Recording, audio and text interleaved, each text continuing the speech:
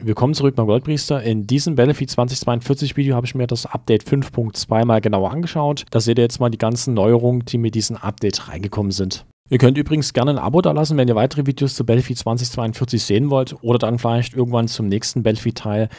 Da könnt ihr, wie gesagt, gerne ein Abo da lassen. Ansonsten, wer bereits schon abonniert hat, kann natürlich gerne dann auch das Video bewerten. Wo ihr auf jeden Fall unbedingt mal reinschauen solltet, ist einmal bei den Handfeuerwaffen. Da gehen wir jetzt einmal auf Sammlung.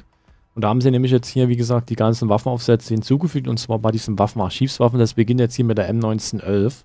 Geht weiter mit der MP412 Rex. Dann haben wir noch die M93R. Die MP443. Und da könnt ihr jetzt hier, wie gesagt, wenn er reingeht, nämlich einige Sachen freischalten, die vorher so nicht da waren. Wenn ihr die Waffe jetzt schon relativ viel gespielt habt, sind die ganzen Sachen natürlich schon freigeschaltet. Habt ihr die nicht so viel gespielt wie ich, da kann man nämlich jetzt hier noch einige Waffenaufsätze freischalten, wie zum Beispiel diesen Schalldämpfer.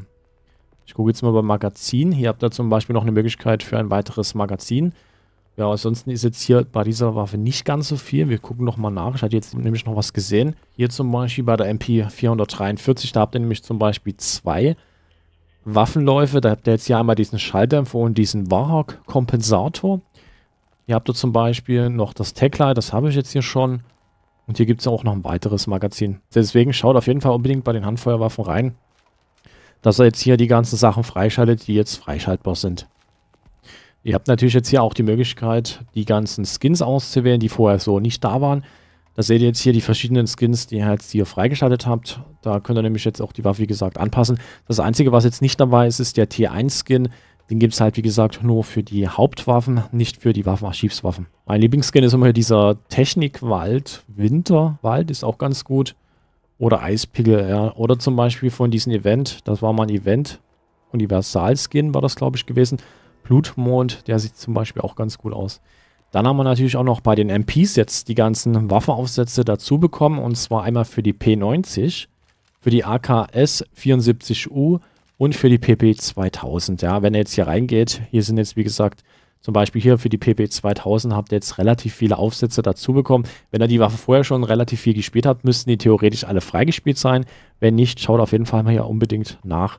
Taktischer Kompensator haben wir jetzt hier zum Beispiel Champion Mündungsbremse, 6 KU Schalldämpfer, VAG Kompensator, eingewickelter Schalldämpfer, ACOM taktische Mündungsbremse. Also ihr seht, da sind sogar richtig viel dazugekommen. Hier haben wir noch ein Magazin. Ich gucke jetzt gerade nochmal hier. Ach, guck mal hier. Bei den ganzen Visieren, da sind richtig viel dazu gekommen. Hier sehen wir jetzt einmal das Thermalvisier, haben sie auch hinzugefügt. Uhr 1 Smart 1,5, das ist auch sehr gut. Ghost Hybrid ist auch mit, mit meinem Lieblingsvisier. 8R Holo, dann haben wir jetzt XO Smart 2. Das ist, glaube ich, auch immer schon dabei gewesen. XDR Holo, TV2, Bravo dreifach, DD Holo, Moment, das war glaube ich auch dabei, das hieß aber mal anders, kann das sein? Maulhybrid, da haben wir jetzt hier zwei Auswahlmöglichkeiten und K8 Holo, Fusion Holo, also ihr seht, das sind schon richtig viel dazugekommen. Ich gucke jetzt gerade nochmal schnell bei der anderen Waffe. Bei der AKS 74U, wie viele Visiere dazugekommen sind. Ja, das sind, glaube ich, dieselben. Das müssten, soweit ich das jetzt gesehen habe, dieselben sein, ja. Deswegen schaut auf jeden Fall mal nach. Ich glaube, wie viel braucht ihr für das allerletzte? Insgesamt 360 Kills und dann habt ihr alle Visiere freigeschalten. Das könnt ihr natürlich auch wieder solo im Gruppenmodus machen. Das würde ich euch da auch empfehlen, das dort zu machen. Da geht es nämlich relativ schnell. Da braucht ihr nur ein, zwei Runden. So, ich gucke jetzt hier nochmal bei der anderen Waffe.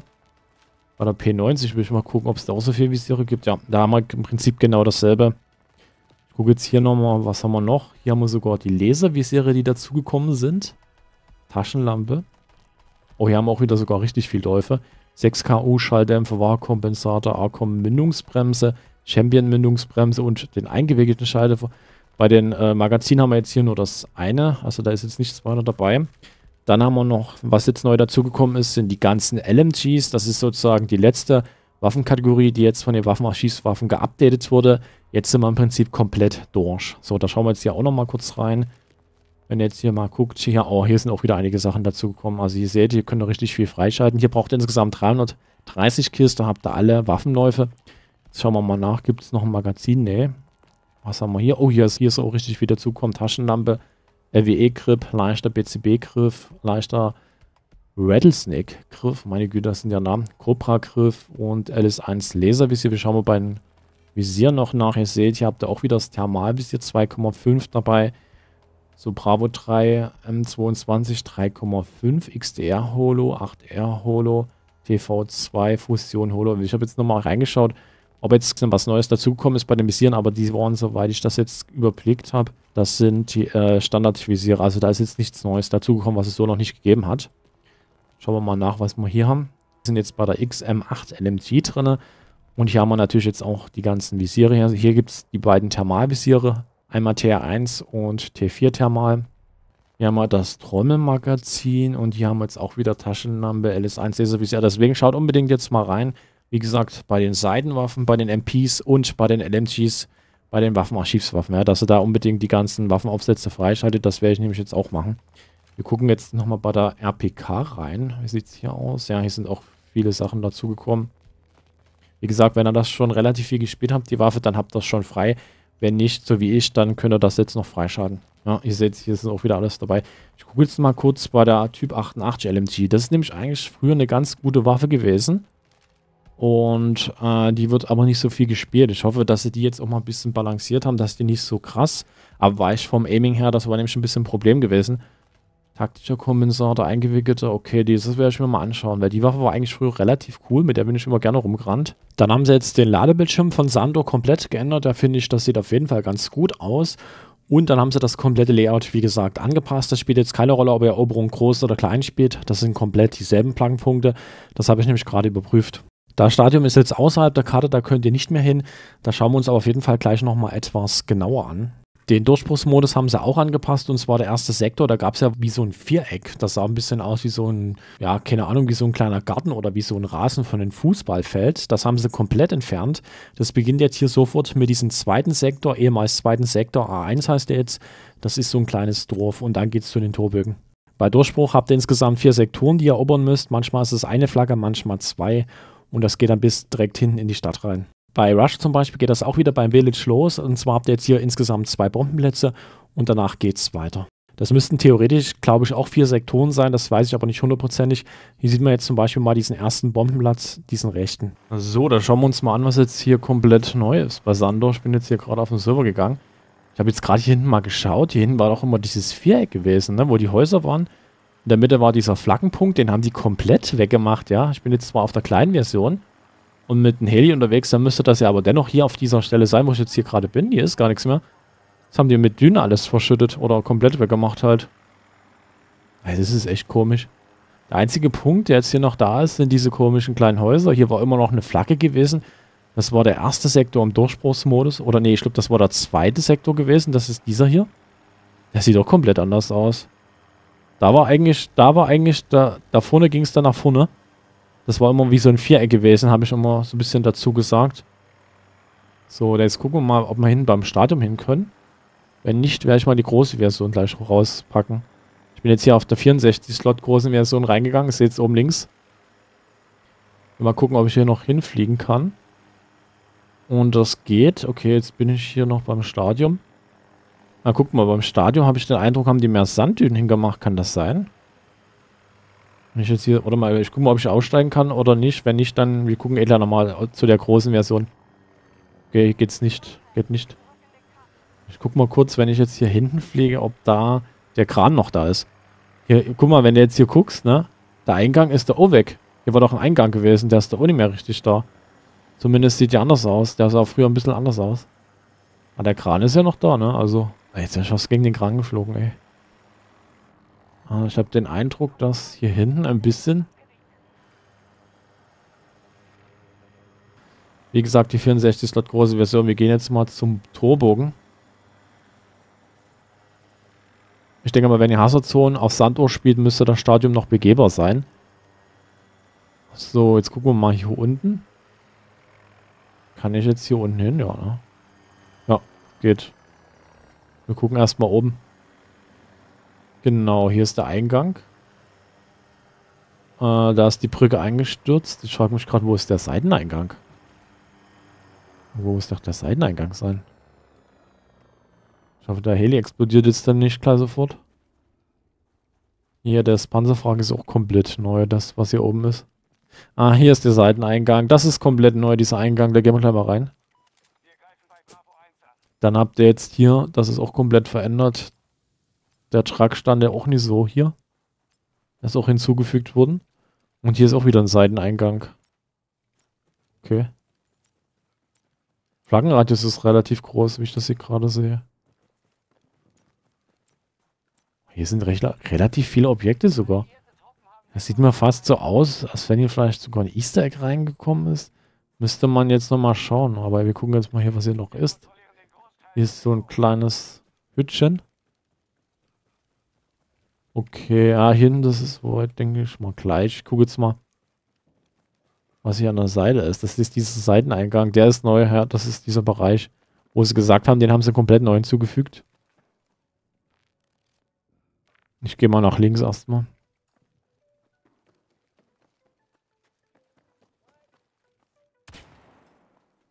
Okay, hier sind aber jetzt ein paar Objekte dazu gekommen, sehe ich gerade hier. Schau mal, jetzt müsste hier die Brücke eingestürzt sein. Das ist der Bereich. Okay, wo ist denn der andere Eingang da gerade gewesen? Ich guck gleich nochmal, da war doch noch ein zweiter Eingang oder Ausgang, besser gesagt. Den siehst du fast gar nicht. Wenn du nicht mal weißt, wo der sein soll, dann siehst du den gar nicht hier oben. Geh noch mal rein. Ich will jetzt mal gucken, wo der andere Ausgang ist hier. Gab es ja noch einen Bereich, wo man angehen konnte. Von da sind wir gekommen. Dann geht es nach links. Ach, das ist... Ach, das ist hier so ein U, so ein halbes. Okay, das ist einfach nur parallel sozusagen. Also hier geht es dann zur C1-Flagge. Und hier drüben ist der andere Eingang. Okay, also das ist wie gesagt so ein halbes U. Ja. Jetzt ist mein Heli kaputt gegangen. Scheiße, Mann. So, jetzt habe ich mir nochmal einen neuen Heli geholt. Da schauen wir jetzt nochmal. Hier ist gerade dieser Sturm gerade reingekommen. Das ärgert mich sogar ein bisschen. Weil das die Atmosphäre jetzt ein bisschen... Ach, jetzt kommt noch ein Wirbelsturm. Ach nee, oder? Da ist der Eingang. Jetzt kommt hier auch noch ein Wirbelsturm. Ich gehe kaputt. Wurde der überhaupt angezeigt? Ja. Ich will jetzt hier mal bei den Häusern gucken. Wir haben sehr diese Zerstörung gemacht, ein bisschen an der Seite, genau. Ich guck mal kurz rechts, müsste ja eigentlich noch... Okay, der, diese Kugel ist auf jeden Fall noch da. Und hier ist sogar ein Punkt an der Seite, G1. Okay, also das ist auf jeden Fall noch so geblieben. Wir haben jetzt hier so ein bisschen Zerstörungseffekt da eingefügt. Okay, da gehen wir nochmal nach unten. Da ist ein bisschen was zerstört in der Mitte. Wir gehen mal nach unten und gucken nochmal hier ein bisschen. Ansonsten ist jetzt hier auch nicht so viel passiert, ja, also.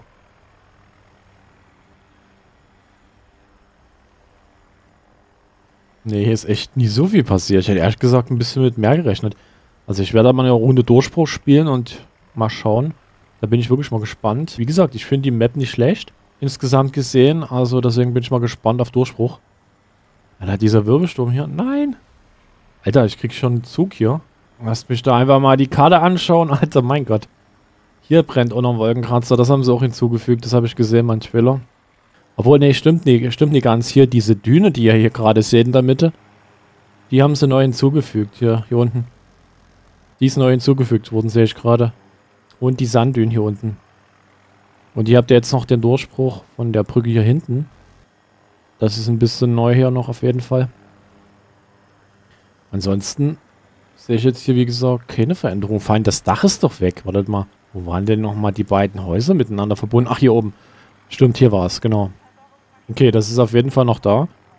Aber ihr könnt natürlich hier oben nichts weiter machen, weil da ist ja hier oben kein Punkt mehr. Ich gucke jetzt mal. Hier müsste ja eigentlich der Fahrstuhl noch da sein. Ja, der ist auf jeden Fall noch da. Okay, also der Fahrstuhl ist auf jeden Fall noch da. Und ihr könnt auch aufs andere Dach, das wurde ja auch im Trailer gezeigt hier. Das war ganz am Anfang der Trailer, der gezeigt wurde, da sind die von diesem Dach aufs andere Dach. Ist schon ganz cool hier oben auf jeden Fall. Ja, nice. Also gucken wir mal Durchbruch, würde ich jetzt mal sagen. Ich will mal wissen, wo da der Anfang ist. Theoretisch müsste der Anfang dort bei der Brücke vorne sein.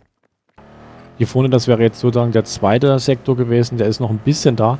Ist aber auch umgebaut worden. Das seht ihr jetzt hier. Bisschen Betonblöcke hingebaut.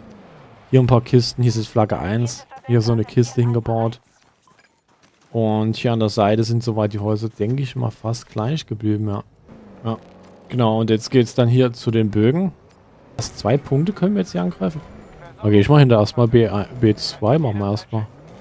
Zwei Punkte sind es hier also. Okay, das ist also der gerade Bereich, der zweite Punkt. Ja.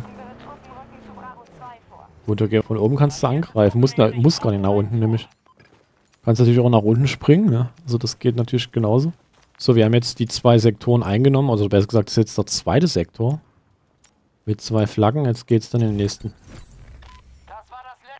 So, das ist dann wieder einer. Das ist wieder ein Punkt bloß noch, der nächste. Mal gespannt, ob ich hier auch auf die andere Seite hochfahren kann. Ja, okay, das geht.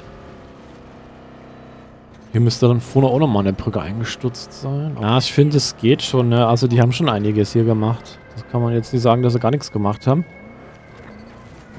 Von den Objekten her, aber man muss natürlich mal schauen, wie sich das dann spielt. Okay, ich finde der Bereich eigentlich ganz gut soweit jetzt hier. Aber hier ist natürlich auch nicht so viel Deckung, ne? Wenn du jetzt hier unten stehst.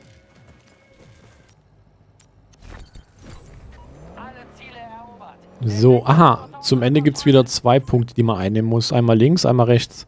Und dann war es das schon. Auf jeden Fall sind wir jetzt hier bei den alten Punkt. Der ist auch ein bisschen überarbeitet worden. Die Kugeln sind doch neu. Stimmt, die Kugeln gab es nicht. Diese Kugeln, die man hier sieht, die man hier sieht, das ist neu. Die gab es hier nicht, die Kugel. Okay, die hinten ist die Kugel, die ist nicht begehbar, ne? Da hinten ist sie. Genau, da ist er. Okay, das ist hier ein bisschen vorgesetzt, ja. Das ist dann der letzte Punkt, ja. Theoretisch, genau. Na, ich finde vom Aufbau erstmal ganz gut, von der Theorie her, ne? Also da müsste man, wie gesagt, noch eine Runde spielen. Ob sich das wirklich so gut spielt, wie das jetzt hier erstmal aussieht, das ist immer nochmal ein Unterschied. Stadion fehlt schon irgendwo, ne? Ich meine, die haben jetzt so ein riesen Stadion gebaut, was ja auch irgendwie erstmal, weiß nicht, programmiert wurde, sage ich mal im Endeffekt, ja. Und das haben sie rausgenommen. Ich Hazard-Zone wird es wahrscheinlich dann noch gehen. Klar, wenn man Hazard-Zone nochmal gucken könnte, da kannst du wahrscheinlich das noch rein. Also da kannst du noch rein, aber so, dann haben wir noch im Store kostenlose Items. Die laufen jetzt sieben Tage in etwa. Und zwar hier einmal für den Boris gibt es eine Kopfbedeckung Brigaden Knacker. Das ist wie gesagt nur die Kopfbedeckung, wenn ich das jetzt hier richtig gesehen habe. Mit diesen Brille.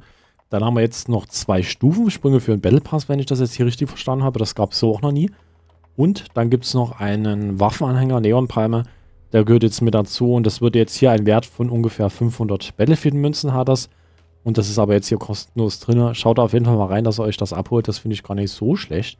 Vor allem, dass sie jetzt hier die Stufensprünge für den Battle Pass reinbringen. Ich denke mal, die testen auch einige Sachen jetzt schon fürs nächste Battlefield. Zumindest kommt mir das so vor. Dann haben wir noch ein Bundle, was jetzt im Angebot ist, was ich ganz gut finde. Maria Falk, die spielen ja eigentlich die meisten. So die Klasse, so von der Statistik her. Da haben wir jetzt hier einmal dieses Bundle, was jetzt von 17 Euro etwa auf 14 Euro gesenkt wurde. Das finde ich ganz gut. Da haben wir jetzt hier Mirage Sanitäter drin. Das könnt ihr euch mal anschauen, wenn der Maria Falk besonders viel spielt. Das ist ja laut Statistik die meiste Klasse, die am meisten gespielt wird. Und dann habt ihr jetzt hier noch einen ganz guten Skin für den Brawler drin. Der, finde ich, sieht auch sehr gut aus. Mit so einem Rambock und Totenschädel. Die RM68, ich wollte gerade sagen 69. Auf jeden Fall ist die immer noch relativ stark. Also das sollte man nicht unterschätzen, auch wenn die ein bisschen genervt wurde. Das kann man immer noch spielen, die Waffe. Dann habt ihr jetzt hier noch eine Hintergrundkarte und einen XP-Boost. Was auch noch ganz interessant ist, und zwar das Bundle hier zum Beispiel, Gleitwandler, genau. Und zwar die 12M Automatik hat jetzt hier einen besonderen Skin oder so eine besondere Lackierung. Da habt ihr so blau, smaragdgrün müsste das sein und das tut so schimmern. Eigentlich war das früher mal auf dem Fahrzeugskin drauf, das haben sie dann irgendwie weggemacht. Ich glaube auf diesen Stealth, das habe ich dann im Nachhinein nicht wieder gefunden. Ich weiß nicht, ob sie das komplett removed haben. Auf jeden Fall finde ich hier diesen Skin zum Beispiel außergewöhnlich. Also das ist schon äh, eine Besonderheit hier. Der halt so besonders leuchtet, ja. Und dann habt ihr jetzt hier auch noch drin Pike, was jetzt auch nicht so schlecht aussieht. Ist aber eine Klasse, die wurde jetzt nicht unbedingt so viel gespielt. Ja, hier habt ihr dann auch einen Nahkampfangriff. Das mit den Nahkampfangriffen ist auch so eine Sache. Ich glaube, da hat sich DICE auch ein bisschen mehr drunter vorgestellt, dass sich da mehr die Leute drauf stützen und dass sie das mehr verkaufen. Im Endeffekt wird das so gut wie fast nie benutzt und das kann man natürlich dann auch nicht so gut verkaufen. Dann haben sie jetzt hier noch einen RAM, einen Skin für einen RAM drin. Das sieht auch ganz okay aus, sage ich mal. Jetzt nicht mega krass. Ist okay. Dann haben wir noch eine Hintergrundkarte, einen Waffenanhänger mit so einer Katze. Ich weiß gar nicht. So eine japanische Katze mit so einem Schwanz, so komisch. Und dann haben wir jetzt noch für die MP9 einen Skin, der jetzt geht so, ja. Der ist jetzt auch nicht so mega krass.